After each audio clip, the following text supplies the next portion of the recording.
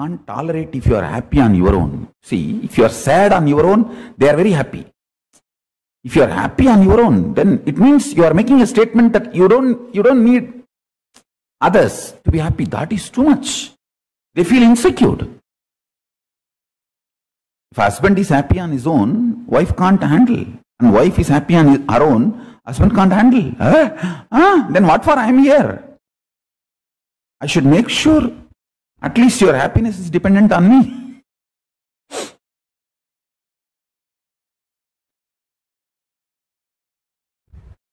How can you be happy on your own? And all the time, ye.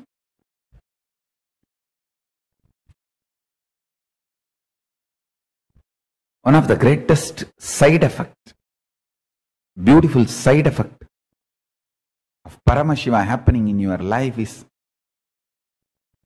he fills you sweetly, swiftly.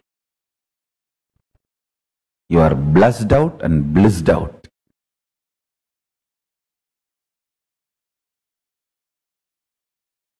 You are blessed out and blissed out.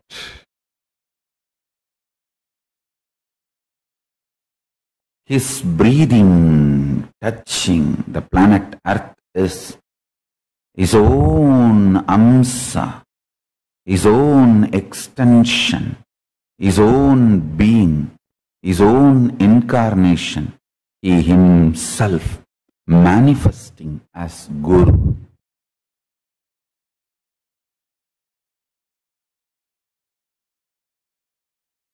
As Guru. Understand? Hinduism is the living religion because it is kept alive continuously by incarnations.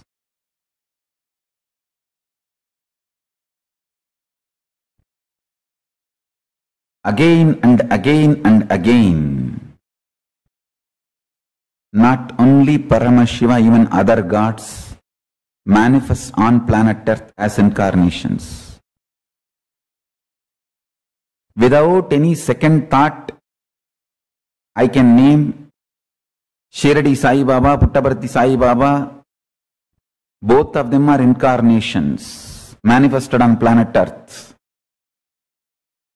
Many times people ask me, Swamiji, can you name some more people who are still in the body as incarnations? Without any doubt, second thought, I will name Sri Ganapati Sachidananda Swami, Mysore Dattapeetam. He is an incarnation of Dattatreya. Without any second thought, second idea, I'll straight name him. Understand?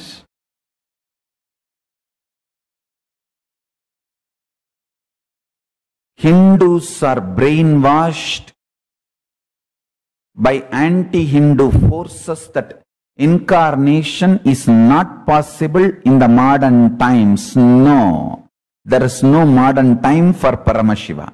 All time is under him.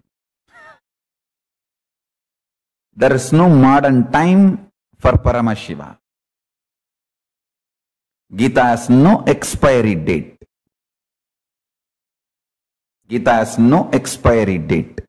When Paramashiva himself declared through Krishna in Gita, he will happen again and again. Sambhavami yuge yuge.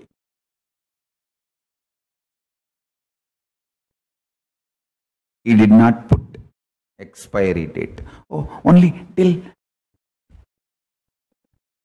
maybe 1900 expiry date. Till then only I will happen. No. Sambhavami yuge yuge.